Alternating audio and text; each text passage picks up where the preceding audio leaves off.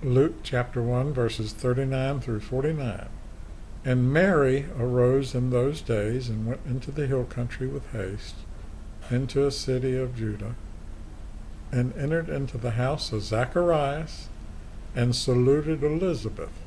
And it came to pass that when Elizabeth heard the salutation of Mary, the babe leapt in her womb, and Elizabeth was filled with the Holy Ghost. And she spake out with a loud voice and said, Blessed art thou among women, and blessed is the fruit of thy womb.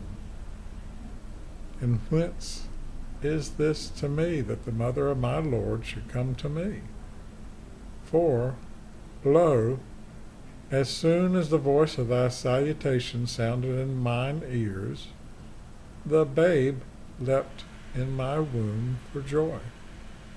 And blessed is she that believed, for there shall be a performance of those things which were told her from the Lord. And Mary said, My soul doth magnify the Lord, and my spirit hath rejoiced in God my Saviour, for he hath regarded the low estate of his handmaiden. For, behold, from henceforth all generations shall call me blessed. For he that is mighty hath done to me great things, and holy is his name.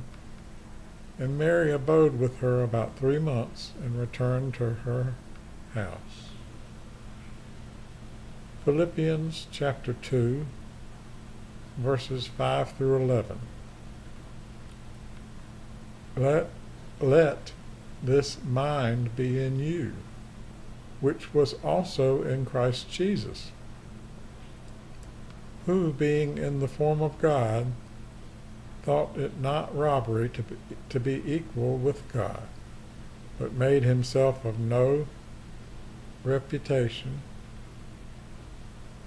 and took upon him the form of a servant and was made in the likeness of men. And being found, and being found in fashion as a man, he humbled himself and became obedient unto death, even the death of the cross. Wherefore God hath, wherefore God also hath highly exalted him and given him a name which is above every name, that at the name of Jesus every knee should bow of things in heaven and things in earth and things under the earth, and that every tongue should confess that Jesus Christ is Lord to the glory of God the Father. Luke chapter 10, verses 38 through 42. Now it came to pass as they went that he entered into a certain village, and a certain woman named Martha received him into her house. And she had a sister called Mary, which also sat at Jesus' feet and heard his word. But Martha was cumbered about much serving, and came to him and said, Lord, dost thou not care that my sister hath left me to serve alone? Bid her therefore that she help me.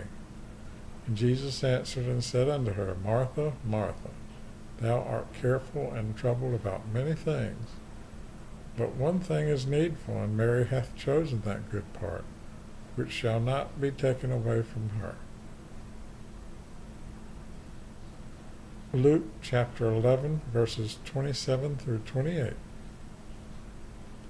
And it came to pass, as he spake these things, a certain woman of the company lifted up her voice and said unto her, Blessed is the womb that bare thee, and the paps which thou hast sucked.